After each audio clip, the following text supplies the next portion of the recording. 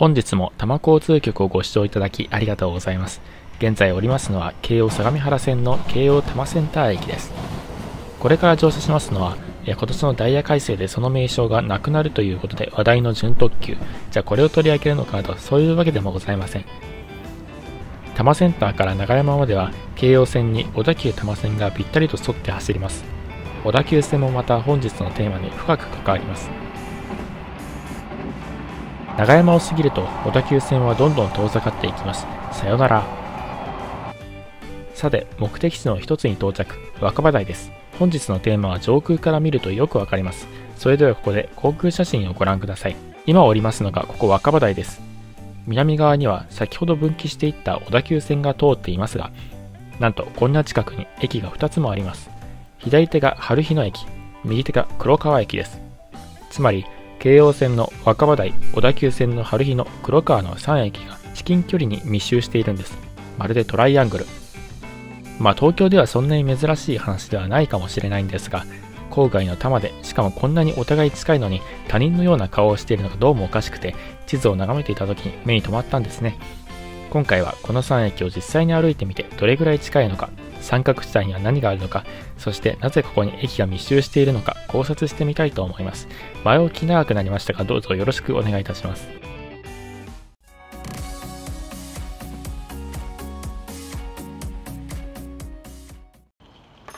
クリスマス気分の若葉台駅前です。余談ですが実はここ若葉台駅は面白い立地。今私が立っているのは東京都稲城市若葉台になるのですが、なんと駅の住所は神奈川県川崎市麻生区。都県境に駅があるんです。県境越えを控えよという声がどうからか聞こえる気がしますね。さて、若葉台駅前、現在の時刻は14時26分になります。それでは黒川駅まで歩いてみましょう。この魚と鳥を模したガードレールは川崎市特有のものです。ガードレールの形でも県境を越えたことが一目瞭然です。歩き出して5分程度、もう小田急線の高架橋が見えてまいりました。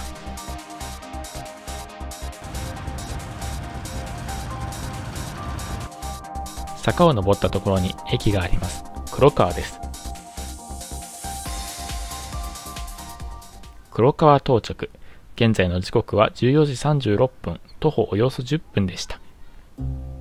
駅前には原っぱがあり子供たちが遊んでいましたこちらにはカフェみたいなローソンがあります。正直想像していたよりのどかだなという感じの駅前なんですが地図を見ると三角地帯に広大な農村が広がっています。新しそうな住宅街に取り込まれた農村。こういうところ気になるんですよね。行ってみましょう。おおネギ。地図で見ていた通りなのですが、やはり来てみると感激です。黒川東農村広場という名前がついているんですね。調べたところ、農地をここに新しく整備して意図的に保存しているようです。周辺の宅地とは一線を画す光景。昔は同じような景色が向こうにも続いていたのだろうと思うと、万感胸に迫るものがあります。諸行無常。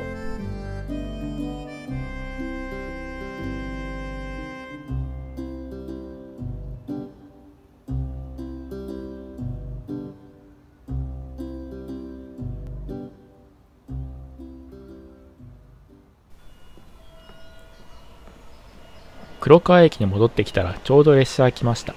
次はお隣、春日野に参ります。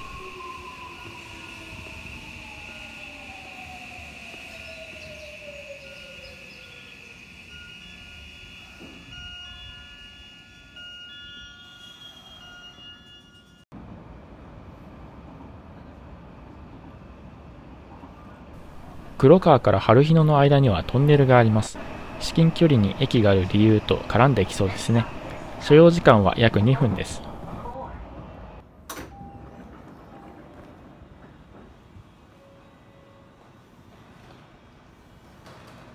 春日野は2004年開業の割と新しい駅です。高輪ゲートウェイみたい。北口に来ました。現在の時刻は15時13分。それでは若葉台駅まで徒歩で行ってみましょう。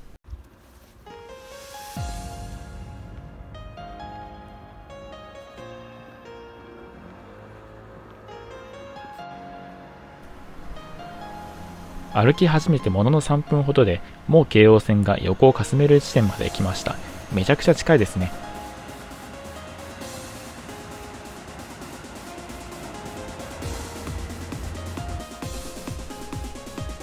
遠くに歩道橋が見えます。あそこが若葉台駅です。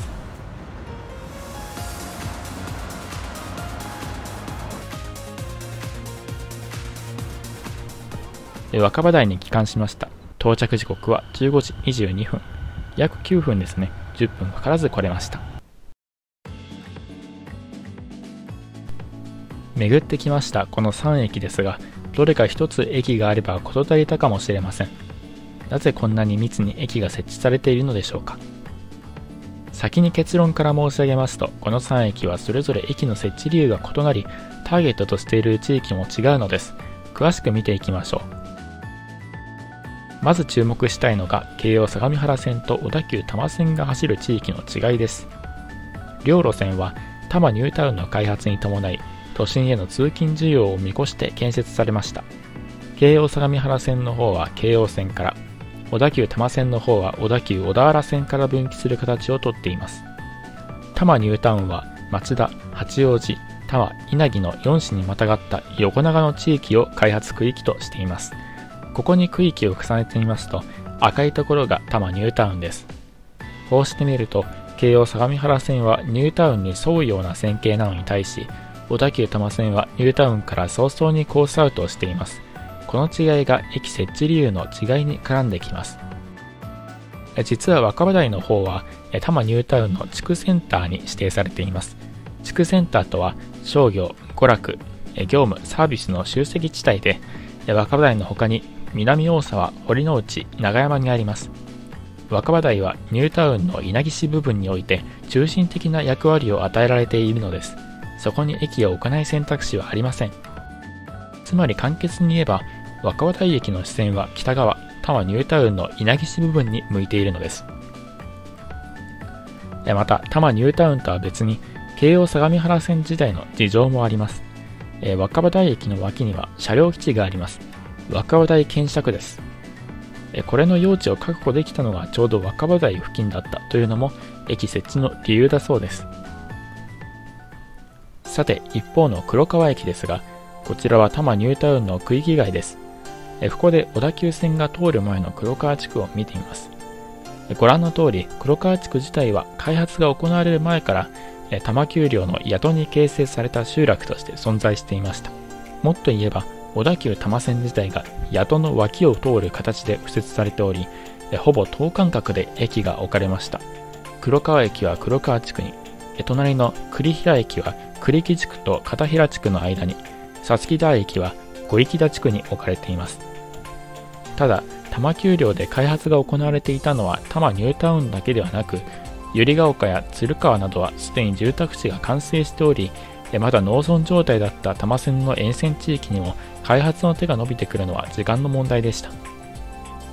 しかし無秩序な宅地開発が進むすなわちスプロール現象が起こると弊害が発生します。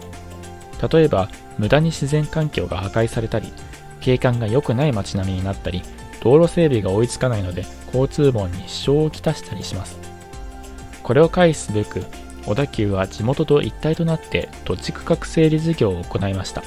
率先して多摩線沿線の土地整備を始めたのです。ここにはもちろん黒川駅周辺も含まれています。というわけで小田急自身が黒川地区の開発をも計画したことからわかる通り黒川駅の視線は黒川地区に向いているわけです。そして長らくお待たせいたしました最後は春日野駅です黒川駅と若葉台駅はどちらも1974年に開業したのですが、春日野駅だけは大きく遅れまして30年後、2004年の開業です。これだけ遅れて、しかも先日の2駅の近くにわざわざ駅を設けたのには訳があります。まず1989年の航空写真を見てみますと、若葉台、黒川の2駅周辺は開発が進んで土がむき出しになっているのに対し、現在春日野駅がある地域は宿に畑が並ぶ昔ながらの農村風景が広がっています。この地域は小田急多摩線が建設されていた当時から開発計画がありましたが三沢川という川の水源林であったことから開発反対運動が起こりなかなか開発が進みませんでした。